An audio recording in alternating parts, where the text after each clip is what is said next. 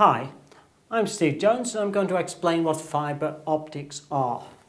Now the first thing is that you are probably looking at a screen and it's fibre optics which is getting the information to you.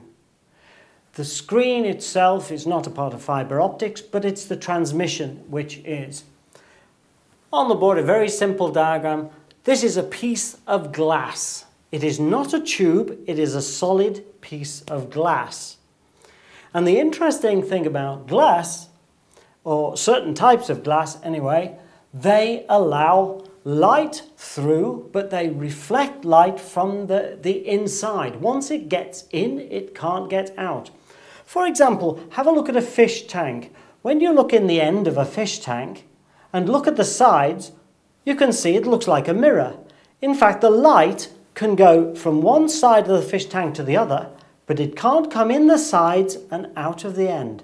Just try that one. This is exactly the same effect here, that light coming in at the end simply hits the side, the inside of the glass, and it is reflected off the surface and bounces down the fibre in this way, each time bouncing off until it emerges at the other end. So it is a guide for light. You get several reflections here along the side of the tube. Of course, can you imagine what a window would be like if it were a meter thick? It wouldn't be very transparent. These this type of glass and the type of materials we use to make these fibers, fiber optics, are very, very, very transparent. And therefore the light can travel many kilometers without being reduced in brilliance.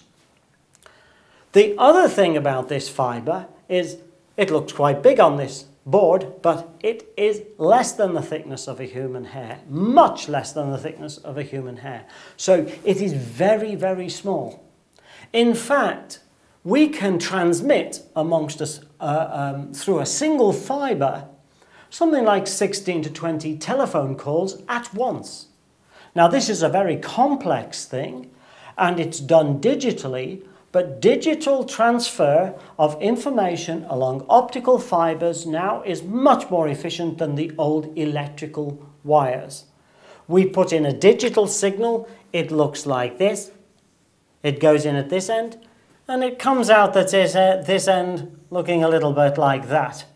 But the advantage with digital signals is we know that this was originally like that. And therefore, we have, we're able to use a device which will in fact produce us the same again. It will reproduce this from this. So you're able to correct the the, the shape of the information as it comes out because you know what it was like when it was put in. So this is why fiber optics is so important. This is why we can use it to transmit light and the light can be turned into electrical signals which we can use in our telephones to transfer your telephone call or to watch your television signals.